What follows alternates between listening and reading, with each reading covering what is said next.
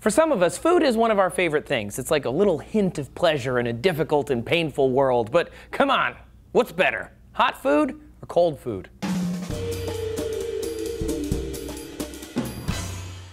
Hey everybody, thanks for tuning in to D News today. I am Trace. The debate rages on and on and on and on. Hot food or cold? And this being viewer question Monday, Vinyl Snaps wanted to know how come hot food tastes better than cold or warm food?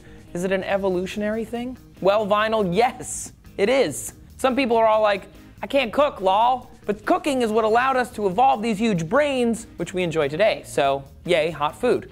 Before the mastering of fire, ancient hominids ate cold food all the time. They had no other choice. Cold, uncooked food requires a lot more energy to digest. Think about it this way gorillas chew all day just to break down food for digestion. Pandas eat for up to 16 hours per day. Cows have four stomachs and have to regurgitate their cud for chewing and then swallow it again. Ugh.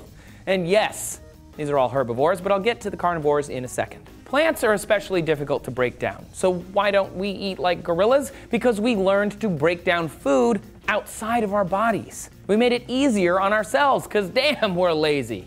Lazy like a fox. Except foxes are carnivores, so you get it. We're smart and lazy. In all the animal kingdom, humans are the best at offloading our biological responsibilities. We create tools to do things that our fingers can't. We wear clothes to keep us warm. We craft, we build, we invent, and we think our way around and out of problems. But our first big breakthrough? Cooking. Two million years ago, we were eating cold food all day, every day, just like our primate cousins. And then we got some fire and we put the two together. Homo erectus started using fire to stay warm, to ward off predators, forge weapons, and allow for more REM sleep, and also to cook some tasty morsels. Fire is an exothermic chemical reaction. It produces heat while chemically altering the wood. When that heat is applied to foods like grains or meats, it chemically alters the food too, and in many cases does so to our benefit. Rather than eating being all about chewing and the juices that exist in our stomachs, cooking gave us more bang for our bite, so to speak.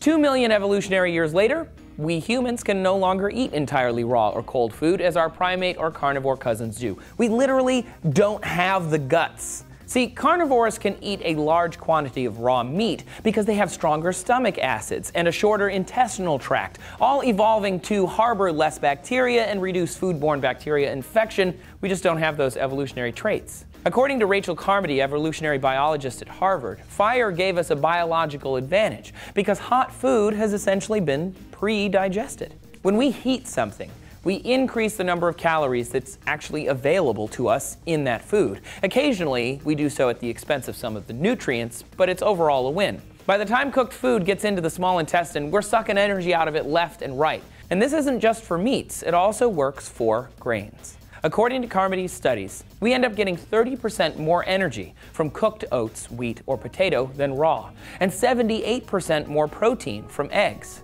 Other studies, too, found digestibility improvements in our foods 10% in chickpeas, for example, and 90% in legumes and starches. We've actually talked about meats other times here on D News, and you do get benefits from them as well. Once we invented cooking, we didn't have to forage for food constantly, nor did we have to sit around chewing all the time. Because of that, we were able to evolve smaller guts, larger brains, and then we began to solve problems and explore the planet and build the internet and deliver this video to you. We've talked about this also on D News before. When anthropologists and scientists flossed the teeth of Neanderthals back in 2011, they found cooked grains. So we've been at this for a while. A study in Proceedings of the Royal Society B recently found chimps had learned to cook food though actually they'd learned to prefer hot food that was kind of secretly given to them by researchers. But the point remains even chimps know how hot food is better, it's easier to eat. So, yes, vinyl snaps, we evolved to eat hot food. Scientists think that taste evolved to keep us eating the things that were good for us and avoid poisons and rotten food and foodborne illnesses. All of those things, you know, are bad. Food packed with energy like meats, fish, nuts, berries, starches, and so on, that all tastes good, thus, we want to eat more of it. When cooked, the molecules in food are more excited and more volatile. They fly off into the air and we smell them. That makes food better as well, and is probably why we like it served hot. It's easier to digest, doesn't have as much foodborne illness, and it is more pleasing to the senses. What do you guys prefer, hot food or cold food? Like, for example, pizza, definitely fresh, number one. Cold pizza, number two for sure. Reheated pizza, get rid of that. I don't want it. Also, if you like the shirt that I have on and you want to check out other D News shirts, make sure you go to forhumanpeoples.com. We have a ton of cool science shirts for your buying pleasure. We came up with these. And if you're a first time buyer, you can use the promo code DNews for 10% off your shirt at checkout. You can also find a link down in the description. Do you guys know which foods our ancestors ate? Luckily, Julia answers that question for you right here in this video. From looking at teeth, skull fragments, environmental conditions, and even computer models, our ancestors lived in a wide range of habitats, leading to a variety in diets. Thanks for watching D News today, everybody. Make sure you subscribe so you get all our videos and come say hi to me on Twitter. I'm at Trace Dominguez.